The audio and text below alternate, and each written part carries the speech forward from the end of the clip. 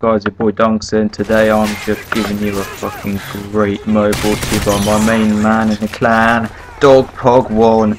He goes on a complete beast and he gets a 1 minute 15 second MOAB underpass. You guys are to absolutely love it. It is with some under underpowered, overpowered guns. But you know what? When you go and you get as good as this guy with them, who gives a shit? I'm to keep quiet for the rest of this commentary. You guys are going to love the rest of this game. Peace out.